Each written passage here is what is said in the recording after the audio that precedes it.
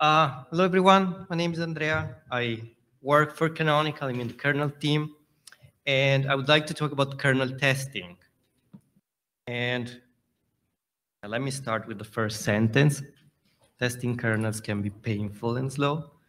Uh, so what I mean with that is like, uh, so being part of the kernel team in Canonical means that we, we, are, we are providing a lot of kernels with different flavors, different architectures. Sometimes we have to apply custom patches for a reason or another. Uh, we try to be good citizens and upstream as much as possible, but sometimes like we necessarily need to maintain custom patches. And when we do that, we want to make sure that when we rebase with new kernels, we don't introduce regressions. So we have uh, large testing infrastructures, but sometimes when there's a problem or a regression, we necessarily need to you know, put our hands on and, and see what, what's going on. And um, so, for example, I'm pretty sure all of you are familiar with Git bisect. You have tried to bisect the regressions. And, you know, Git bisect is amazing. It, it's really effective. It's probably the best way to track down a problem, but the whole process is not like, it's quite painful, takes time. And at the end is rewarding because you find a problem, but to get there, that's not ideal. So yeah, the thing is testing kernels can be painful and slow, mostly because there are lots of redeployments and reboots involved. Uh, often I like to start like to redeploy a system when I need to run a test because I want to make sure that run doesn't affect the next run, the results of the next runs. So starting with the fresh image is always nice, but independently on what kind of infrastructure you're using, it means that you need to wait. And wait time leads to distractions. At least I get distracted. If I need to wait and stare at the screen for five minutes, let's say, I won't. I would just check the emails or, I don't know, go get some food, so it's not even good for my diet. And that leads to unpredictable results, uh, either because I get distracted and make mistakes or because like, I don't know, there are infrastructure, the infrastructure fails to deploy uh, an image, let's say. Um, and so yeah, approaching kernel developer, that kernel development, I have the feeling that we are lacking the usual, you know, fast edit, compile, test workflow that we have with user space applications. Uh, if you work on a user space application, you just apply a patch or do it, make a change in the code, you recompile and, and you dot slash the application, or you just click a button and the application starts. Um, so yeah, having to do a lot of these tests uh, was making my life miserable. and I was like, you need to figure out a way to speed up this process. Um, and uh, yeah, I was wondering, what if I can like be able to create a virtual copy of my entire system on the fly? I can, meaning like I can kind of fork my system and specifying a custom kernel and create like an ephemeral image where I can do whatever I want that would be an exact copy of my system where I can do all the changes that I want in a safe way.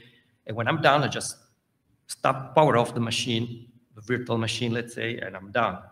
Uh, in, the way, in this way, there's no redeployments involved because it's just a immediate, you know, start immediately. And um, can show you we, with some tricks we can achieve also extremely fast reboots. Um, that doesn't save like the time, like during a bit git bisect, for example, that doesn't save the time needed to recompile the whole kernel. Uh, but yeah, let's address that into a separate topic because now we're focusing at the deployments and, and reboots. Um, so I started to look around, see if there was something, and I found this amazing project called VirtMe, that is written by Andrew Lutomirski. So big shout out to him. Because this tool allows to do what I was looking for. It allows to virtualize your running system, like create a live snapshot and specify a kernel that you just recompile or that you download the package and I don't know, you have a file with a kernel, you specify the kernel, and it creates this live snapshot. Um, it uses uh, 9PFS to export the host file system into the guest uh, in read-only mode because it's supposed to be safe. Like if you destroy your host, it, it's pointless. You can just reboot into your, your host. And writes are allowed in a TempFS home. So uh, how many of you are familiar with VirtMe already? Raise your hand. Oh, so many people. Nice. So yeah, we should use VirtMe. I'm done. We can go to lunch. now, the thing is, I was super happy uh, when I found this tool, started to use it. But there was like, let's say it was covering like 80% of, of 80% of my needs. And but there was still like a 20% that I wasn't happy about. Um, and yeah, so this is the thing that I wasn't things that I wasn't happy about. Uh, first one is limited testing capability, meaning that exporting the file system in read-only mode makes impossible, for example, to install other packages, and I'm still limited to do certain tests. Um, the other thing is performance even if like 9PFS is amazing and we had some uh, big improvements in the 9P protocol with 515, uh, still the performance were not like pretty cool. Uh, for example, just to give you an example, a git diff in the Linux source directory was taking five minutes to complete. So yeah, cool, but uh, certain, I couldn't do certain tests, like it was just impossible. Um, and as a consequence of that, also the boot time was not ideal. Because like it was it, it was amazing. Like it was taking like uh, 16, 15, 16 seconds to like get a console and me being able to run commands. But I felt that there was room for improvements. Uh, last but definitely not least, the project is not maintained anymore, sad face. Uh, that was quite disappointing. I was quite disappointed about that. So because at some point I was sending pull requests on the GitHub page. Other people were, you know, Marcos, other people were doing so, and they were just sitting there. Um, so yeah, but hey, that's the beauty of open source. So we can see the source code, we can fork that, and yeah, and this is what I did. I also contacted Andy, the author, and for personal reasons, it doesn't have time to maintain this project right now. So I was like, yeah, sure, just fork it and, and continue that. So I, that's what I did. I tried to look at the pull request, uh, merge what I, what I liked. Uh, we created a new GitHub project with that.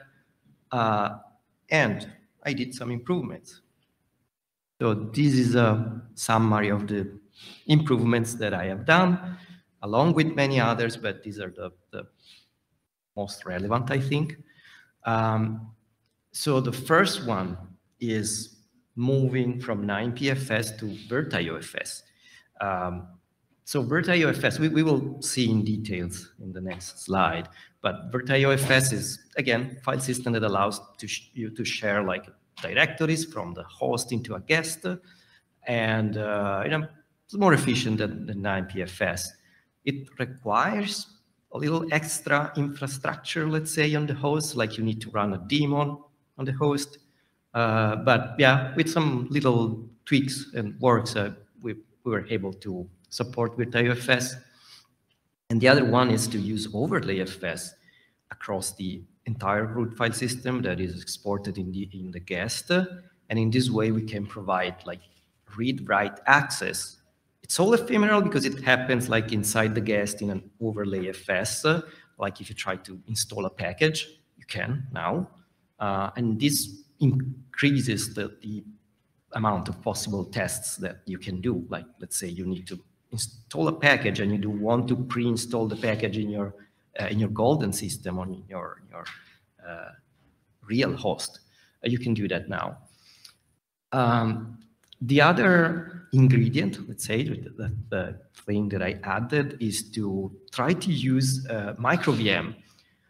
I wasn't aware of micro VM before. I just, it was actually um, a guy on, on Twitter suggested me, like, because I was tweeting about, uh, you know, my progress on improving the boot time. Oh, I now I'm one second faster, two seconds faster. And, and at a point, he was like, oh, you should definitely try micro VM. Uh, it, it's in QEMU, it's like upstream. You can, I mean, you can, uh, you, will see, I get, I have some results later. Um, and uh, the other thing was to, uh, so the original project was using a bash script. It's a custom init script. It was not relying on systemd, uh, mostly because the original design of this project, and still the, the design to, is not to become a distribution, like a fully featured distribution, but the goal is to provide like the bare minimum environment so that you can do something. Um, that's the reason for the custom init script. However, the bash implementation was relatively easy to maintain, but not in terms of performance. It wasn't amazing uh, for obvious reasons.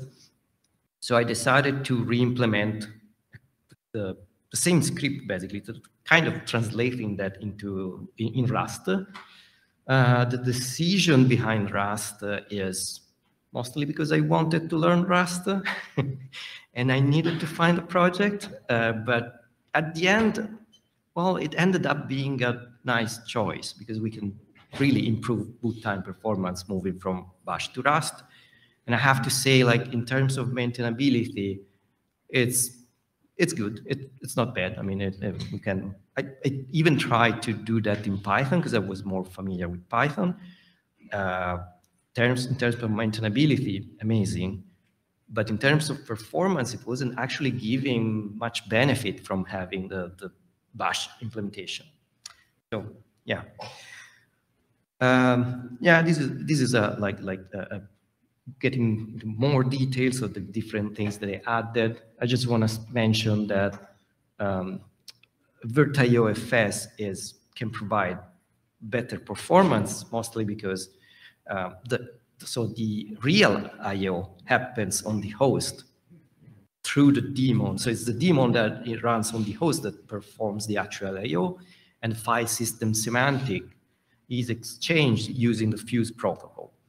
Uh, and then there's like a shared memory area where like all the the I/O happens on the host and the data is copied on this shared memory area, and then the um, yeah, then the guest can immediately see like the files that are read or written.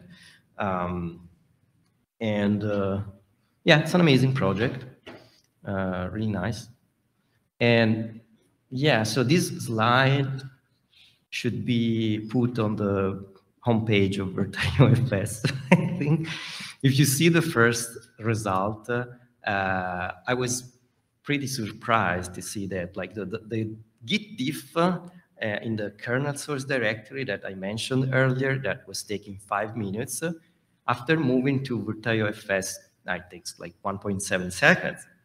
So with this change, I can, I was feeling very excited. Like I can uh, almost give the uh, feeling that you're actually running in your host rather than in a virtual machine. Uh, and um, yeah, so like um, this one is, is, is a good result. And, and Git diff is I mean, we see this huge performance boost because Git, diff is generating a ton of file system requests, and that was tanking the 9p way because 9p needs to eh, generate basically a, a message for each file system operation, and also the I/O goes through the 9p protocol. While with VirtIO FS, you just you know send the semantic, and then the actual I/O happens in the host. Uh, the boot time was improved as well not like amazingly better, but still, um, the, the, reason is that during boot time, we don't have much file system operations. But still, you know, um, well, we can save some time during boot.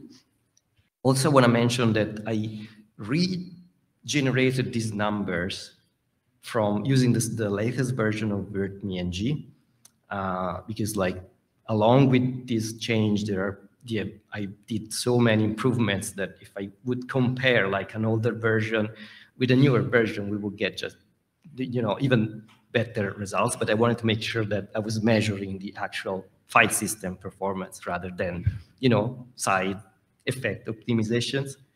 Um, so yeah, overlay FS, this one is straightforward. Uh, was a yeah an easy change to in order to be able to support and, and give the feeling of like you're actually using it looks like you're using your host because you can write whatever you want in the file system.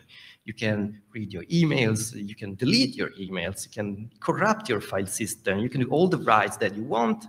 And when you're done, you just power off or you exit from the session, the virtme session, and you didn't actually do anything. It's just you, you, you get back to the to your golden image. Um, I want to mention, this is something, so the last one is something I want to mention. We had a bug where something odd was happening, uh, like we were getting permission denied errors. Uh, and that's because like Virt, uh, Virtio FSD in the host runs in uh, unprivileged mode, and you're you know it's supposed to access the entire file system of your host. Overlay FS instead is using uh, is implicit, implicitly injecting oh noatime uh, on any file system operation. I, my understanding was that it's doing that for performance reasons. But the result was that this all time was sent to Virtio FSD running on the host. So it, if it was trying to access, let's say, slash bin bash, it was accessing that with no time, but being an unprivileged, uh, unconfined binary, couldn't, you can't use noatime, so I was getting permission denied. But anyway, long story short, this is fixed upstream because uh, in Virtio FSD, we decided to do like, if you're running unprivileged, unconfined, and you don't have permission on a file, we can we, we just drop all noatime. And I wanted to mention this because if you're using this and you're like, let's say you're stress testing or noatime, well, make sure that you create a import a separate disk because you can do that in virtmeng you create a file system there and you're not using using the actual you know virtual uh, VirtIOFS exported file system of your host because you may get weird behaviors. So don't waste time on that.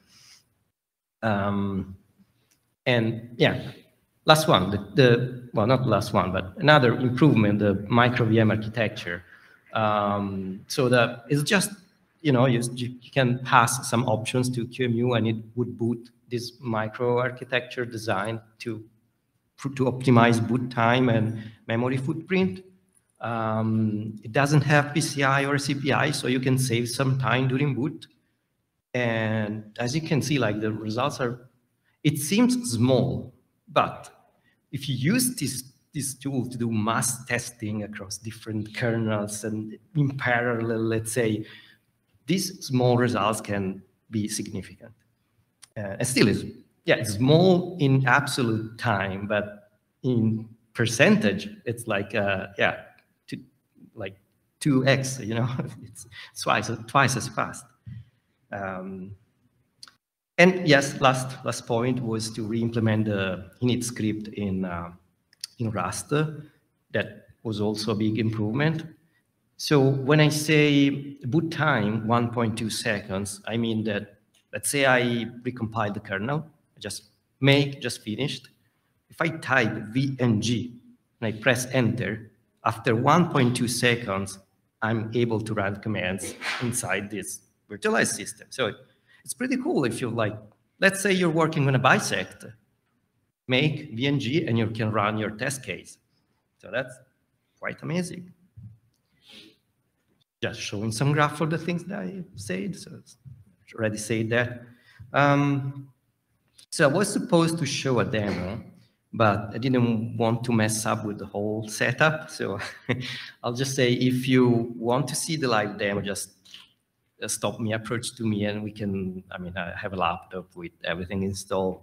There's also, I also made a video just in case, uh, but Uh, so if you click on, on that link, the the slides are available on the LPC webpage. Uh, and basically, I can describe what I was going to show you. Like one of the first example was this one that, you know, you compile the kernel, you type VNG, enter, and you are you have a session shell inside uh, with the kernel that you just recompiled.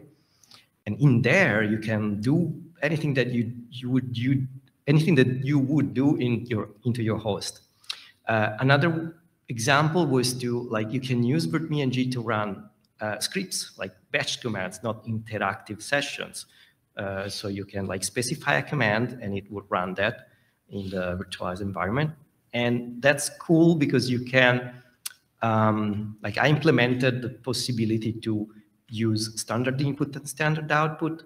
So you can literally combine like commands on your host, pipe something that runs with this kernel, pipe something that runs with this other kernel, pipe another kernel, pipe collect everything on the host, and print the result or send the result via email, for example. And in this way, I can like parallelize, let's say, I don't know, 10 kernels all at once and collect all the results on the host. Uh, and, uh, and it's pretty fast. I was supposed to show a little live demo of four kernels and it completes in 2.6 seconds. Uh, so yeah.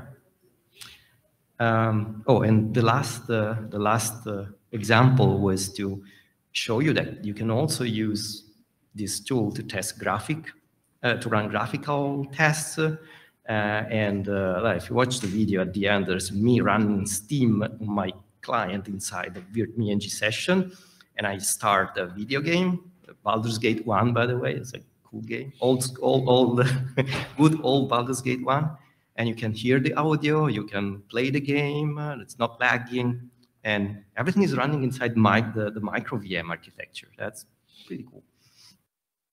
Um, so yeah, conclusion. Um, yeah, I would like to highlight the fact that maybe virtmeng can be used to finally have this um, fast edit compile test uh, workflow also for kernel development. Um, also testing a kernel in, yeah, one second, a little more than one second is nice. Uh, and I, I, put one second that these are the results on my laptop. If I use this in my beefy server at home, I can break the barrier of one second. I can push this down to 0.8 to 0.9. Um, another point is like, uh, yeah, it's this I, want to, so everything is backward compatible with the old virtme. So if you use the use virtme, everything should work. Uh, if it doesn't, it's a bug, and please file me a bug. I've heard some people saying, oh, I moved to virtmeng, but this particular feature, this particular command doesn't work anymore. If it happens, please please let me know. I can fix that because we fully support, like, want to fully support backward compatibility. Um, and another important point that I want to mention is the usability. I have the chance to um, work with students. Um, yeah, it's a great opportunity. It's nice. I, I like it. Uh, and usually newcomers, or especially students, when they approach to kernel development, they they are super excited, but the, all of them, they struggle when you tell them like you should test this inside a virtual machine. They're like, oh no, now how do, how do I deploy a virtual machine? I don't know what to do, and they get discouraged. Uh, if, if, when I showed them this tool, they were like, oh, okay, it's amazing because kernel development is not that difficult. So it's like, I think it's, you know, potentially a way to attract uh, uh new people and I think that's that's interesting. Um, I also wanted to mention, I put the last point because that was actually uh, the topic of one of my previous talk at the OSPM this year. Uh, and I was, yeah, I did a talk on how to reduce power consumption during kernel testing using virtmeng. So I put the link on of the presentation at the end of the slides if you're interested to get some values. But uh, to yeah to summarize everything, the idea, of course, was that you can save the time, redeployment time uh, by using virtmeng, so that that's why you can, uh, you know, be more carbon efficient during kernel testing. Um, so what's next? So the, goal of this talk is to like make awareness that this tool exists, uh, increase the, the user base. Uh, I know there are users. Um, some example of people, some people in, in SUSE are using this one right here, Marcos is using in um, for testing live patches. Uh, there are people from Google that are using it. Um, people uh, that we have, we also have a Debian maintainer now that maintains uh, the package in Debian. His name is uh, Ricardo Ribalda. Big shout out to him. Uh, and so that means we have this package also in Ubuntu and all the Debian-based distros. Uh, so you can just apt install virtmeng. You don't get the latest version that gives you all this amazing performance, but we, we try to be aligned to the latest version. Uh, otherwise, there's a, you know, there's a code is on GitHub. You can download that, compile. Um, so yeah, the, but but the, main point uh, for me is to collect more feedback. So because now it's been pretty much designed to satisfy my own personal requirements and maybe a little bit of Marcos as well. uh, but yeah, we, we, we, need, we would like to improve this tool more. Um, another thing that I would like to add is the, but it's not a priority right now, is to su fully support systemd.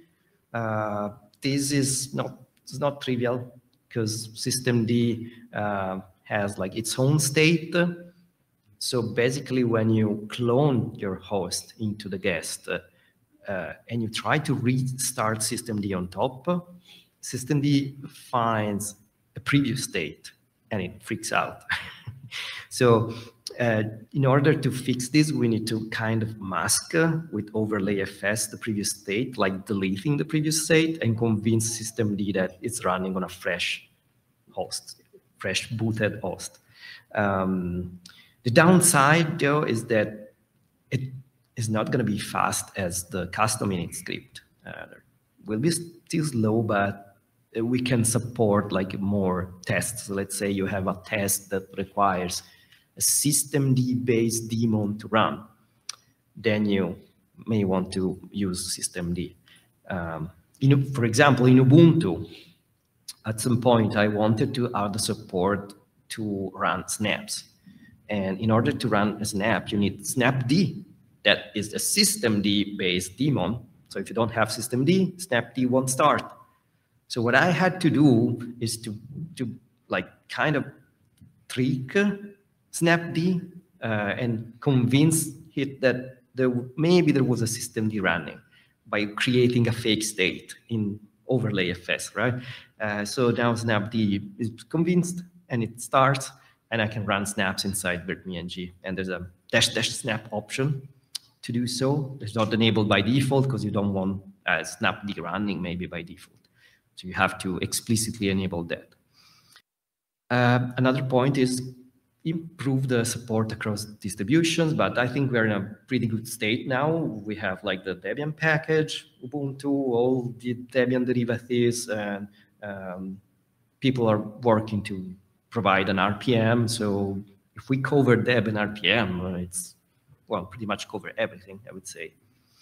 Uh, snaps, Flatpak, I would, I would like, that, that's probably a consequence of the systemd support. Like if I, we can properly support systemd, then we can properly support any other, uh, you know, packaging that requires daemon running. Uh, snap support is working. I would even say it's stable. Um, but but using this tricky Yaki way. So is it reliable? Maybe. We don't know. Um, yeah, put some references here if you wanna try the tool. That's the, the homepage. The second link is my previous talk about power management stuff. Uh, VirtIOFS, QEMU, some references. And I think I am done. Questions?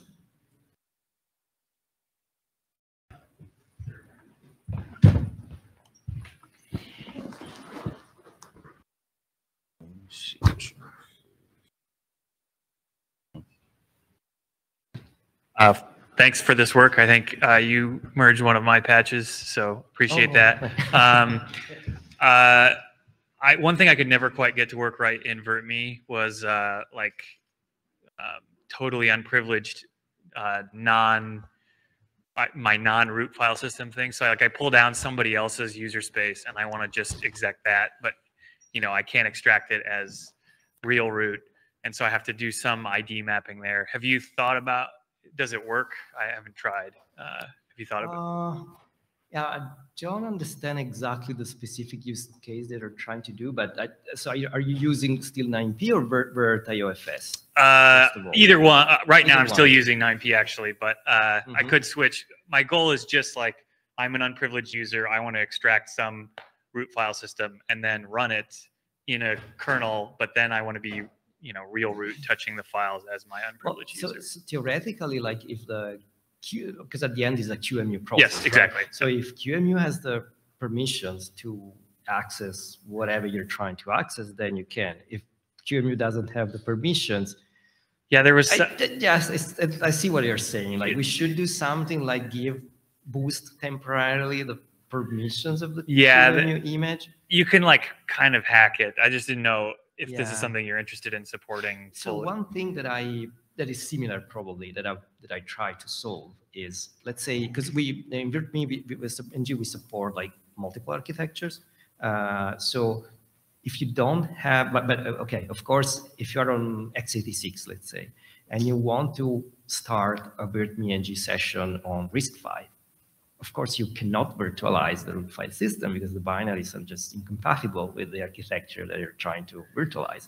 So that's why there's a dash dash root option Mhm. where you can specify a different So actually, this is exactly my And use case. Yeah, yeah. So, and if the target directory doesn't exist, um, VirtMeNG would actually create that for you, downloading the files from the uh, latest Ubuntu Cloud images. Okay. I did that just for me because uh, Ubuntu, uh, so I use the Ubuntu Cloud images. But to do that, uh, so it gets the image, it untars everything, and of course, everything comes uh, as root ownership. So the trick that I used is really dirty. I'm just running chmod Mhm. to give permission to access those files. Uh, but uh, yeah, right now that's the only, but it's a good point. It's a good point. We should investigate something to see if it's possible to, yeah, Yeah, Thank that you. would be useful. Thank you. Yeah. You go. Yeah. Next. Hello, Andrea. Uh, Hey. Thanks for your your work uh, on VirtMeNG. I believe that it would be nice if you could mention some other open source projects that are already relying on VirtMeNG. Oh, yeah, yeah, that's a good question. So uh, Mutter, for example, is switched to VirtMeNG for their CI CD uh, workflow. And uh, yeah, they're happy with that. So they can test like, their uh, workflow, or uh, I should say their requirement is to be able to test Mutter across different kernels uh, from different distributions. So they couldn't find a way to easily and quickly, you know, cover like download all the kernels and then, okay, you have all these kernels, but I don't want to deploy a single VM for each kernel. I just want maybe to use my, uh, don't know, a chroot with the latest Mutter installed, and they can individually pick each kernel and just, you know, create a VirtMeNG instance and just test all of them. Uh, so they are happy with that. Uh, I know someone, I don't know if I can disclose this, but uh, let's not say any names. Company X is testing webcams with VirtMeNG. That sounds odd because I was surprised because I was like, wait, how, how do you test web, webcams? You're creating a virtual image. And, and the guy told me, uh, well, we just use, we can, you can specify uh, additional QEMU options. And what, it, what they're doing, they simply pass like the USB, uh, create a USB device, kind of pass through uh, into the VM. And, and therefore, they're able to test uh, uh, webcams uh, over US, virtual, VirtIO, USB, whatever, uh, running different kernels. Um, other projects, yes, uh, Marcos is using LivePatch to test LivePatch. There are probably others, but these are the ones that, that I know. Um, yes. Is it, is, are these VMs compatible with, uh, connecting to them with uh, GDB? Yes, so there's a, there's actually a, uh dash dash debug option. If you use that, you can, uh, the, the VM will be start with a um, GDB listener. And then, uh, I'm trying to remember because I implemented that and I don't remember. There's a virtmeng command that you can use to uh, uh, basically, um, how to say, to, it would use QEMU, uh, QMP protocol and you can generate a, a crash dump basically. And when you have, the, if you want, you, you, can generate a crash dump and inspect with that with crash utility or, And breakpoints and all that? or yeah, breakpoint or whatnot. Yeah. Cool, thanks. One, one question. Behind, behind you. Yeah. Okay. Yeah. Yeah. You. So thanks for maintaining that. Uh, That, I really appreciate that. One question. um, In my case, mod probe doesn't seem to work very often Mm. because it's trying to look for the, the, the host place for the modules. Is there a way to solve that problem? So mod probe, whatever driver I, I want to install, look at the, the kernel that I just compiled? Okay, so mod probe used to be a tricky problem to solve. Uh, like, how what version are you using? Because I think that was solved recently.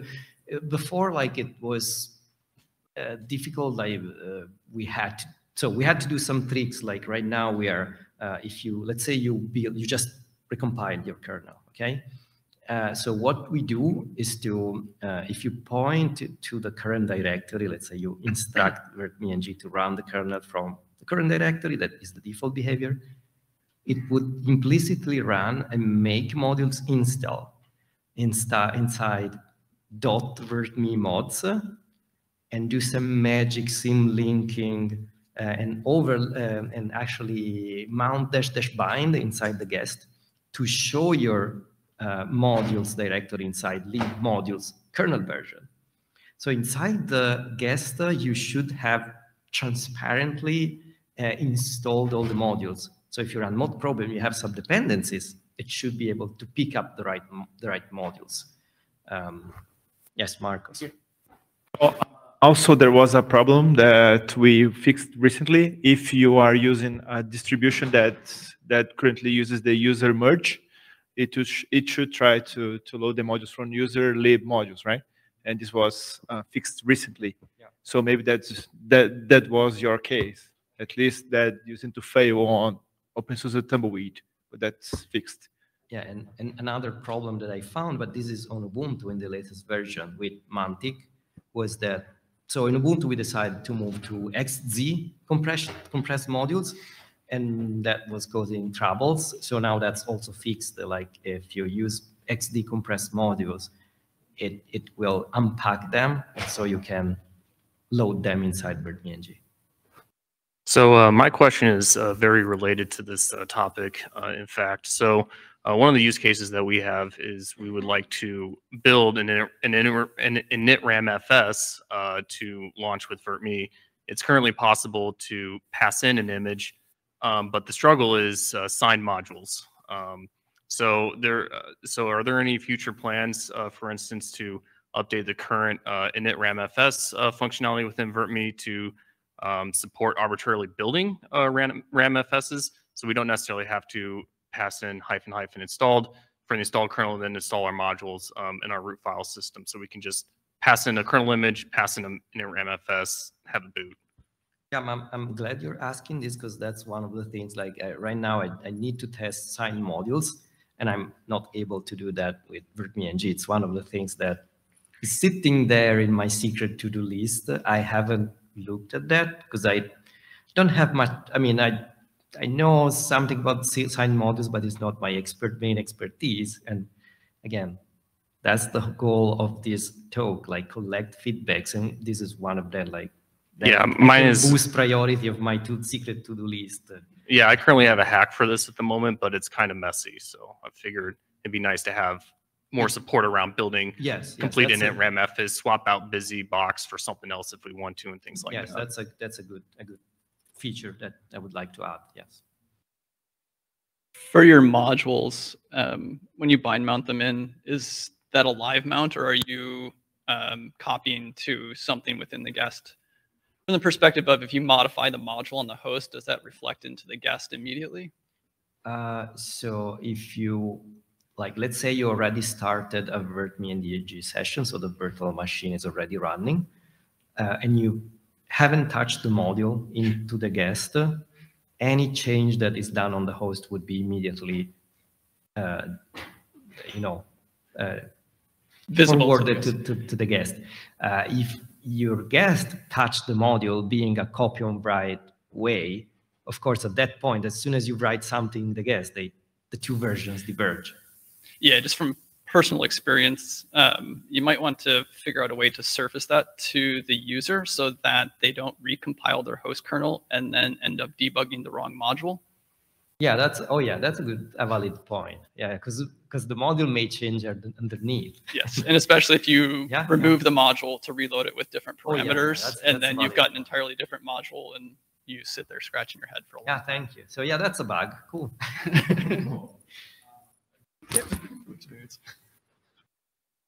I haven't tested the Virt uh, IO FS yet. I'm still using the 9P, and there is a minus minus read write option. So I believe that everything that you write down, it's it's uh, So the- updated. yes, there is a read write option, but even if you use, uh, oh yeah, because in that case we won't create the overlay on top.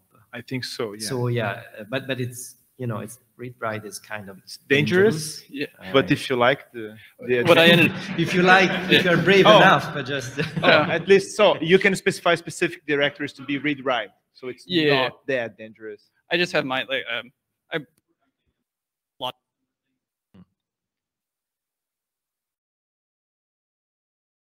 The modules binding so that you literally cannot add changes from Ah, the see, I host. see, I see. So Um, yeah, now, so okay, you mentioned something interesting that uh, I wanted to highlight. Like, is that I even in the talk before this one, I I always hear people, oh, that because I'm doing this or I'm doing this, I'm do-, and it's great. Uh, and another a big goal of VertMe and G would be to like provide a common tool to everyone so that if, like if you don't have if you're not super expert and you don't have your little tricks here and there you can start with that. So if you like a newcomer say that have anything that you can start with this one. Yeah, and from a KVM side, it sounds like you don't always use KVM, but um, if you did for you, new users especially, utilizing KVM trace points from the host to glean information about what's going on in your guest, and especially if you are brave enough to hook up uh, BPF programs, you can extract a lot of information about the guest, especially if you have um, like on x86 any kind of exception. Uh, we can often trap into information yeah yeah that's that's really So- useful yeah of thing too. I don't think it would have to be VirtMe uh, specific if you're using. So if we can get into the kernel, I would love that um, for just any.